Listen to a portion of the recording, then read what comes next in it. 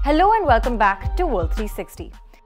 ای انسانهای آزاده در کنار ما باشید و ما را یاری کنید تا دولت ها دست از حمایت از این رژیم قاتل و کودک کش بردارند Those hard-hitting words were those of the Iran Supreme Leader's niece. Her video statement, which has now landed her in jail, is one of today's three topics. Apart from this, we're also going to be looking at what happens or is happening rather in East Asia, specifically Taiwan, where the president stepped down as the leader of her own party. And lastly, how a new report shows that the UK made a lot of poor choices in the way it distributed its aid to Afghanistan over the last 20 years. Now, these three stories are probably ones you didn't read in your daily newsfeed, so let's get into them. First, what's happening in Taiwan? On Sunday, after her party fared poorly in local elections, Taiwan's president Tsai Ing-wen stepped down as party leader. She's still president though, and should she run for re-election, would only need to do so in 2024.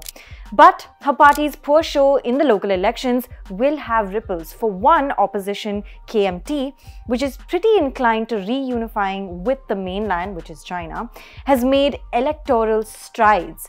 The KMT's success in these local polls has also got Beijing excited. Look at what Chinese government mouthpiece Global Times had to say about it. With KMT winning back Taipei and Taoyuan, Li Zhenguang predicted that some cities-to-city exchange mechanisms with Chinese mainland could be restored and operate better, such as the Taipei-Shanghai Forum. Now, the Taipei-Shanghai Forum is an annual forum between the government and civilians of Shanghai and Taipei that has been going on since 2010.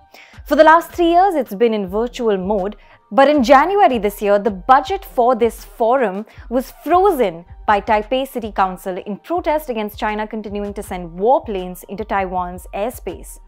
But now, with the Kuomintang or the KMT, which has long been a strong opposition party in Taiwan, winning local elections in key cities, such events could be revived with more gumption. More so, when the 2024 presidential elections roll around in Taiwan, it'll be worth keeping an eye on KMT. If successful, the KMT could have a completely different foreign policy towards China compared to what we have seen from the current Taiwanese administration run by Tsai Ing-wen. If you aren't familiar with the KMT, it's important to remember that they ruled China before losing a civil war to the communists and fleeing to Taiwan. More importantly, the party says both Taiwan and China belong to one China, a claim largely unpopular with many Taiwanese. In fact, the party's full name translates to the National Party of China. So then, how did a China-friendly party with such a controversial ethos win big in local Taiwanese elections?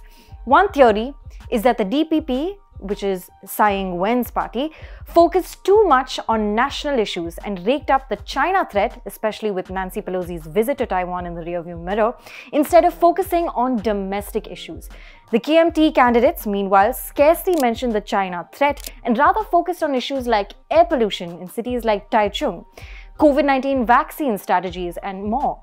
Some experts have also pointed out that the public weren't exactly satisfied with the way that President Tsai Ing-wen's government handled the COVID-19 pandemic. The public has some dissatisfaction with the DPP on this, even though Taiwan has done well, relatively speaking, in pandemic prevention. Huang Wei-hao, a political science professor at National Sun Yat-sen University told The Guardian. So there could be some public resentment that has also played a role in the recent local elections. But one thing that is clear from these elections is that the KMT has got a significant confidence boost and all eyes are on the 2024 presidential race. Now on to our second topic which was the teaser clip we played for you at the start of this episode. Farideh Morad Khani. That's the name of the outspoken woman in this video who also happens to be the niece of Iran's supreme leader Ayatollah Ali Khamenei. Keep in mind that Iran's supreme leader is the highest ranking political and religious authority of Iran and even the commander-in-chief of the Iranian armed forces, which makes his niece's remarks all that more significant. In the three minute video posted last week, Farideh does not mince her words. She calls her uncle's government a murderous and child killing regime. She even appealed to foreign governments to cut all ties with the Iranian government. A recent tweet from her brother confirmed that she was arrested following these remarks. Let's not forget that this has been happening amid major protests in Iran, which have been going on for the past three months, sparked by the death of 22 year old Mahsa Amini. It has been termed one of the biggest challenges to the country's clerical leadership since the 1979 Islamic Revolution. Now, who is Farideh? Farideh is a well-known human rights activist in Iran and the founder and director of a rights body called Campaign to Support Prisoners. Her late father, Ali Morad Khani Arange, also known as Ali Tehrani, was an opposition figure and a Shiite cleric married to the supreme leader's sister. Farideh also an engineer, has been arrested multiple times before. In January this year, she was reportedly arrested by agents from Iran's Ministry of Intelligence and her house was subsequently searched and some of her belongings were seized. Many suspected that this was because of her attending a webinar in October 2021 to celebrate the 83rd birthday of Empress Farah Pahlavi, the widow of the last Shah of Iran. At the webinar, Farideh recited a poem in which she praised the Empress for her contributions to Iranian culture. Now, to jog your memory, the last Shah of Iran was overthrown in the Iranian Revolution in 1979. And the Shah is a reviled figure among the current Iranian leadership, especially for the corruption in his regime. And by extension, so is his wife. Clearly, Farideh comes from a family of dissidents as well. Her father was an opposition figure and a very nuanced dissident. While he opposed the Shah of Iran, he did not support clerics having a role in government in Iran. He fled to Iraq, in fact, in 1984 after facing threats and arrests. Later, Farideh's mother, the sister of the supreme leader, took her five children and joined her husband in Iraq after a falling out with her family. Now, when Farideh's father returned to Iran after his exile in 1995, he was sentenced to 20 years in jail.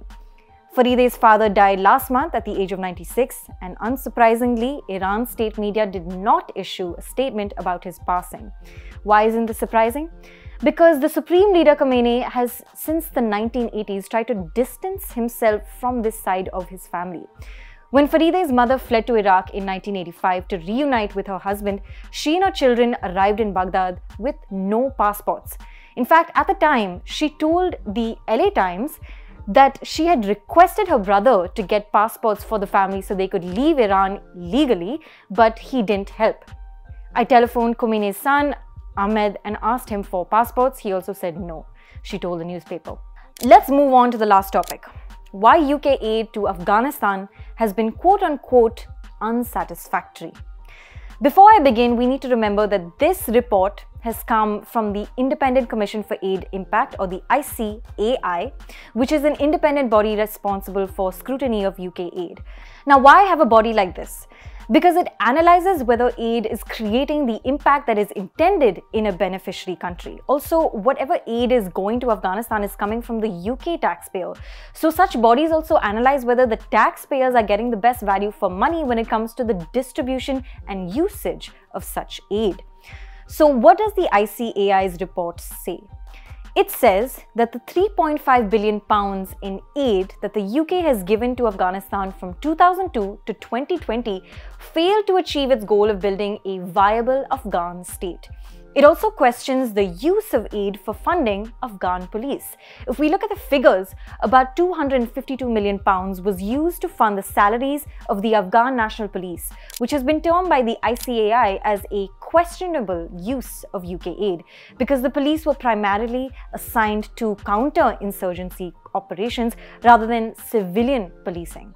One interesting nugget from the report is this line the report found that attempts were made to end police funding, but they were overruled at the highest levels of the UK government. Unfortunately, the report doesn't tell us when such suggestions were struck down, which would have helped us pinpoint which UK government was in power at the time.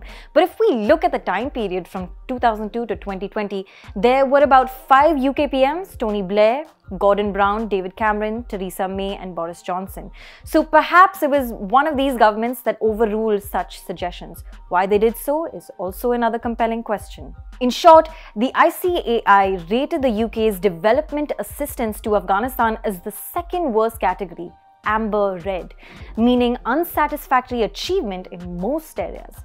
With the Taliban back in power, there are also concerns as to whether the gains made by the UK's aid program in Afghanistan, whether it was improving literacy and reducing child mortality, for example, will last under Taliban rule.